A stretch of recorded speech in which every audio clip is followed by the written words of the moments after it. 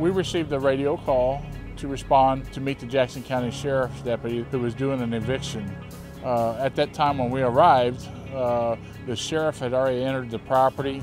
The dogs were already removed from the residence and being held by property management. When the Jackson County Sheriff arrived, this is where the dogs were contained into this room here. This is not an ideal situation for animals. As you can see, these animals have been in here for quite some time. They've clawed away at the drywall. So at that point in time, the dogs were impounded since the actual owner was not physically at the property location. We brought them to the Kansas City Animal Shelter. The Kansas City Pet Project personnel uh, took possession of the, the animals. If we can get word of mouth going and that'll help our process as far as education instead of removing an animal from that property if we don't have to.